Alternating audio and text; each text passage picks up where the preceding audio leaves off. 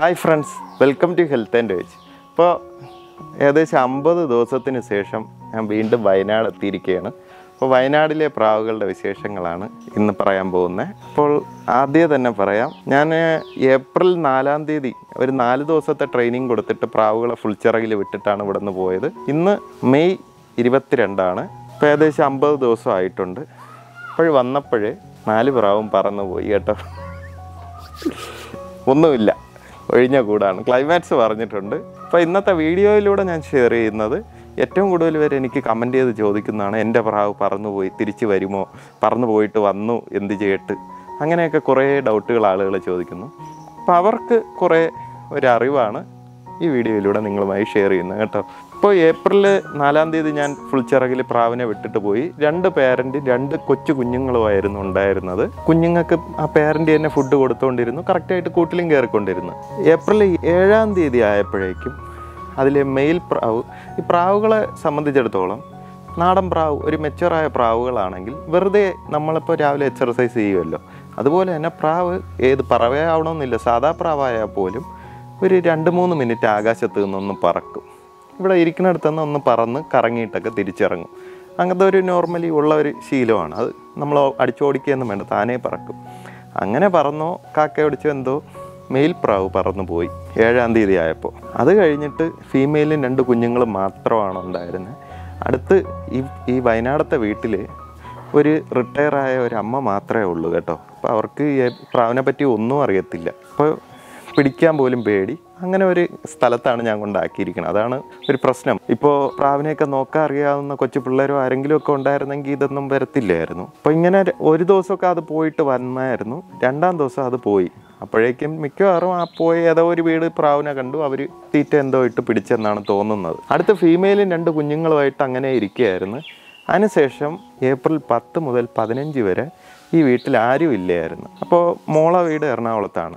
അങ്ങനെ എറണാകുളത്തും ഇവിടെ ഉള്ള അമ്മയും പോയി. അപ്പോൾ ഇവർക്ക് ഗേറ്റ് തുറന്ന അയൽവാസികളെ ഏൽപ്പിക്കാൻ താല്പര്യമില്ലാത്തതുകൊണ്ട് എല്ലാ അറയിലും ഫുഡും വെച്ച് ഇവിടെ നനയാത്തടുത്ത് ഒരു ബേസണിൽ കുറേ ഗോതമ്പൊക്കെ വെച്ച് വെള്ളവും വെച്ചിട്ട് നിൽക്കണമെങ്കിൽ നിൽക്കട്ടെ എന്നൊരു ചിന്തയിൽ തുറന്നങ്ങ് വിട്ടിട്ട് പോയി. അങ്ങനെ എറണാകുളത്ത് പോയിട്ട് പതിനാറാം തീയതി തിരിച്ചു വന്നു. തിരിച്ചു വന്നപ്പോൾ നല്ലൊരു ട്വിസ്റ്റ് ഉണ്ടായി. ഇവിടെ രണ്ട് കുഞ്ഞിരിപ്പുണ്ട് ആ നിന്ന ഫീമെയിൽ വേറൊരു മെയിൽ പറന്നു വന്നിട്ടുണ്ടായിരുന്നു. വേറൊരു കളർ പ്രാവായിരുന്നു. അങ്ങനെ നാല് പ്രാവ് ഇവിടെ നിൽക്കുന്നുണ്ട്. അപ്പോഴൊക്കെ വിളിച്ച് പറഞ്ഞെങ്കിൽ എനിക്ക് വരാൻ പറ്റാത്ത സ്ഥിതിയായിപ്പോയി. ഇതിനായിട്ട് ഞാൻ കോഴിക്കോടൊന്ന് വരേണ്ടി വരും. വന്നൊന്നുമില്ല. അവർ അധികം വീഡിയോസ് ഒന്നും എടുത്തും വെച്ചിട്ടില്ല. അതുകൊണ്ട് അതൊന്നും സീൻസ് കാണിക്കാൻ പറ്റാത്ത അവസ്ഥയായി. അങ്ങനെ നാല് പ്രാവും കൂടെ ഇവിടെ നിൽക്കുകയായിരുന്നു.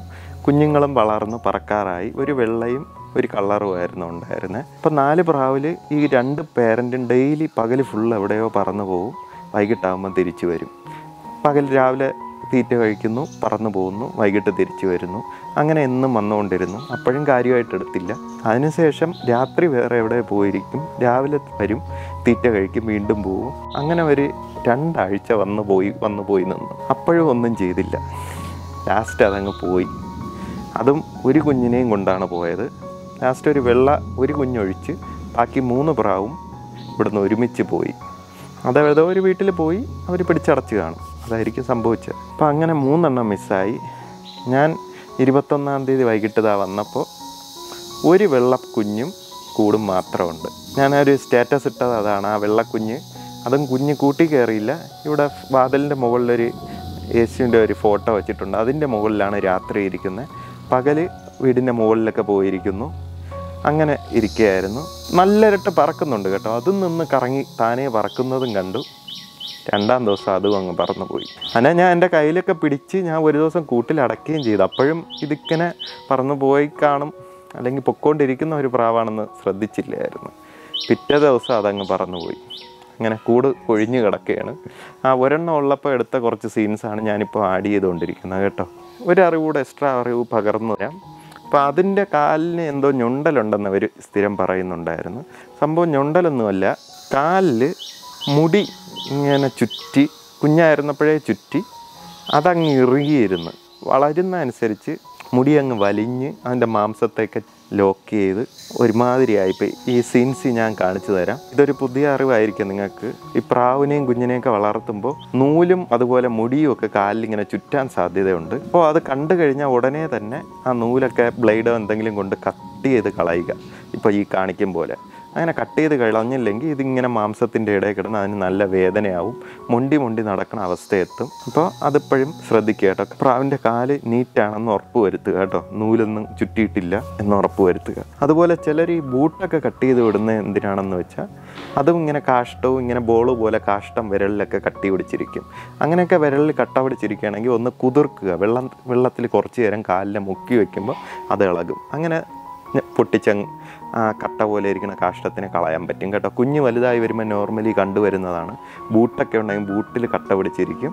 അതുപോലെ വിരൽ ചേർന്നും കട്ട പിടിച്ചിരിക്കുകയാണെങ്കിൽ ഒന്ന് വെള്ളത്തിൽ മുക്കി വെച്ച് കുറച്ച് നേരം ഒരു പത്ത് മിനിറ്റ് വയ്ക്കുമ്പോൾ ആ കാലിലെ കട്ട കുതിരും. അതിനുശേഷം ഇളക്കി കളയുക കേട്ടോ. അപ്പോൾ ഇവിടെ എന്താണ് സംഭവിച്ചതെന്നാണ് ഞാൻ പറയാൻ പോകുന്നത് ഇനിയാണ് മെയിൻ കണ്ടന്റ് അപ്പോൾ ഒരു പ്രാവ് ഒരു രണ്ടാഴ്ചയായിട്ട് ഇണക്കി. എന്നാൽ പോലും ഒരു ദിവസം എവിടെയെങ്കിലും പോണതായിട്ട് നിങ്ങളെ ശ്രദ്ധയിൽപ്പെട്ട് കഴിഞ്ഞാൽ കഴിയണതും അത് തിരിച്ചു വന്ന് കയറുമ്പോൾ വീണ്ടും ഒരു രണ്ടാഴ്ചയെങ്കിലും പിന്നിട്ട് നിർത്തുക അല്ലെങ്കിൽ അത് മുട്ടയിട്ടതിന് ശേഷം മാത്രം പിന്നെ ഊരുക കേട്ടോ. അതാണ് ഇവിടെ ഏറ്റവും വലുതായിട്ട് സംഭവിച്ചത്.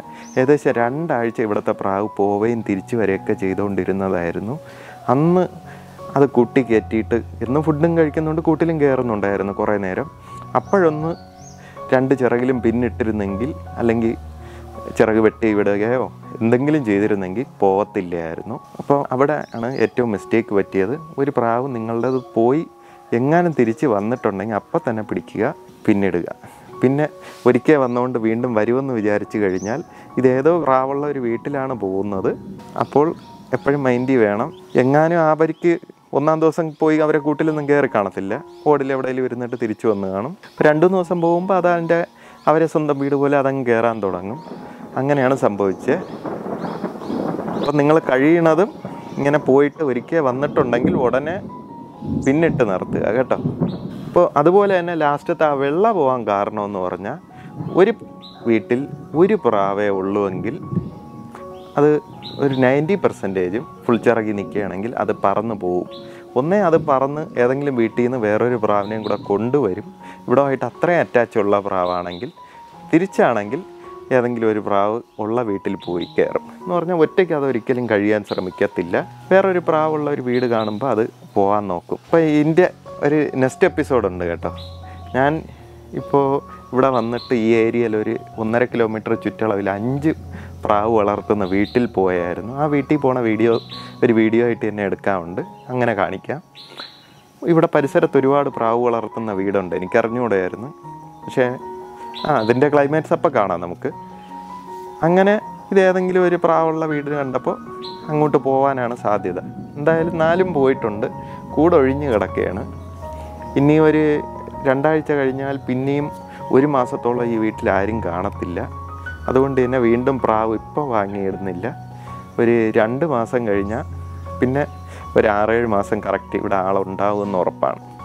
അപ്പോൾ വീണ്ടും പ്രാവ് വാങ്ങി വാങ്ങിയിടുന്നതിനെ പറ്റി ആലോചിക്കാം. ഇപ്പോഴും ഇതാണ് അവസ്ഥ. ഒഴിഞ്ഞൊരു കൂട് മാത്രമേ ഉള്ളൂ കേട്ടോ. അപ്പം നിങ്ങളോട് എനിക്ക് പറയാനുള്ളത് പറന്നു പോയാൽ വരുമോ ഇല്ലേ എന്നുള്ളത് ഭാഗ്യം പോലെ ആയിരിക്കും. ഭാഗ്യം പോലെ എന്ന് പറഞ്ഞാൽ ഇപ്പോൾ എക്സാമ്പിൾ എന്റെ തിരുവനന്തപുരത്തെ വീട്ടിൽ ഇടയ്ക്കിടയ്ക്ക് പ്രാവ് വരാറുണ്ട്. ഞാൻ ഒന്നിനെയും പിടിച്ചടക്കിയൊന്നുമില്ല വന്ന് കയറണമെങ്കിൽ കയറട്ടെ പോണെങ്കിൽ പോട്ടെ എന്നുള്ള രീതിയിൽ വിടെയാണ്. അതേസമയം ചിലരാണെങ്കിൽ നിധി കിട്ടിയ പോലെ ഒരു പ്രാവിനെ കിട്ടിക്കഴിഞ്ഞാൽ എന്ത് ചെയ്യും? എങ്ങനെയും പിടിച്ച് ചിറവ് കെട്ടിയിടും.